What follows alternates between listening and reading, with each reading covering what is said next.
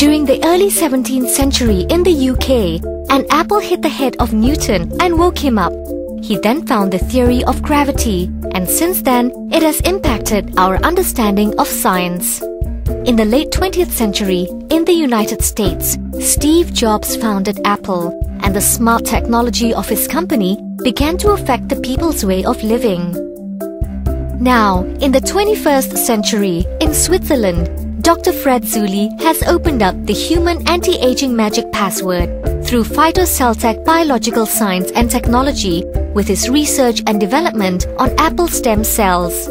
Using the same technology, he then again opened up even more possibilities to anti-aging through the research on grape stem cells and argan stem cells. It has successfully expanded the life of the living cells and achieved a more comprehensive human anti-aging treatment. PhytoCellTec Biological Science and Technology has won the European Cosmetics Maintenance Product Invention Award and Cosmetics Raw Materials Innovation Award in 2008. We face the crisis of aging every day in our lives. Negative impacts such as environmental pollution, stress, and unstable climates will accelerate this aging process of humans.